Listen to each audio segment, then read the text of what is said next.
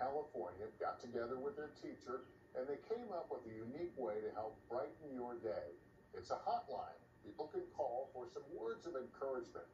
And since the project started, the phone has been ringing off the hook.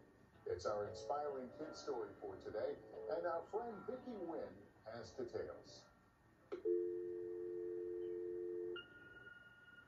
If you're feeling mad, frustrated, or nervous, press 1. If you're nervous, go get your wallet and spend it on ice cream and shoes. If you've been feeling mad, frustrated, or nervous, just know you're not alone. We have the drought, COVID, fires, Ukraine, Russia. I think people just need cheering up. And cheering up is exactly what a group of elementary school students is doing with some positive messages just a phone call away. Be grateful for yourself. Everyone is capable of doing anything. You just have to let yourself shine. I don't want anyone to feel like sad about it or like unhappy. I just want everyone to be happy in the world because being happy is the most important thing. It should be the number one thing that's on your priority list. Do live it up. Welcome to the Pep Talk Hotline. Real advice you can use from the students at Westside Elementary in Healdsburg, California. Do you feel mad or frustrated, to or you can do flips on the trampoline.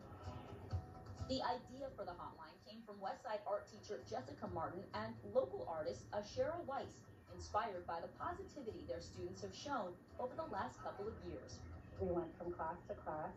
You know, basically we said it's been a hard few years. Uh, we've been listening to the advice that you have and, and everything you do to help yourself and your friends and your family feel better. And we'd like to share that with the world. So that's what they did, starting small with posters. Never back down, never give up. We love you! But like any good campaign, the kids wanted to meet people where they are, on their phones. Most of these kids don't know what a hotline is. They don't have phones yet.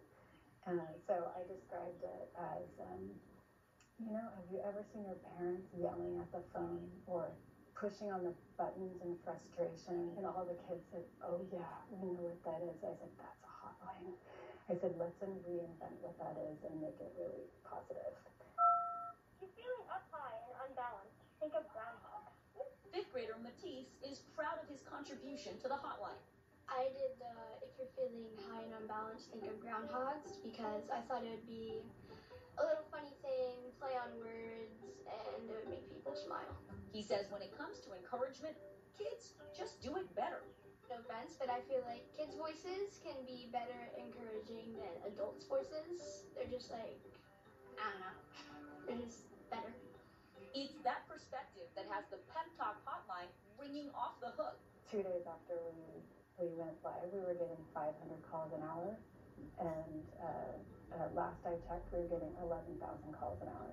So it's absolutely extraordinary. 10 year old Liam says the hotline meets a critical need. It's so stressful right now because the U- Russia and Ukraine war, COVID, and loss of family members.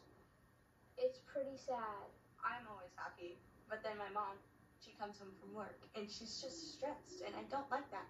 I'm like, Mom, press number two, listen to the little kids. You will be fine in an hour. I was having a bad day and I got home to my dad's house and I'm like, hey, maybe I should call the hotline. And I called it and the rest of the day I was having a good day. A few words from kids, now reaching adults around the world. I think for them to understand one little small word, one sentence, look how it's impacting so many lives all across the world. Just don't look at the bad things always. Think of like something happy. So take it from Liam. We could all use a pep talk. Just with one word of encouragement, you might have a great day afterward.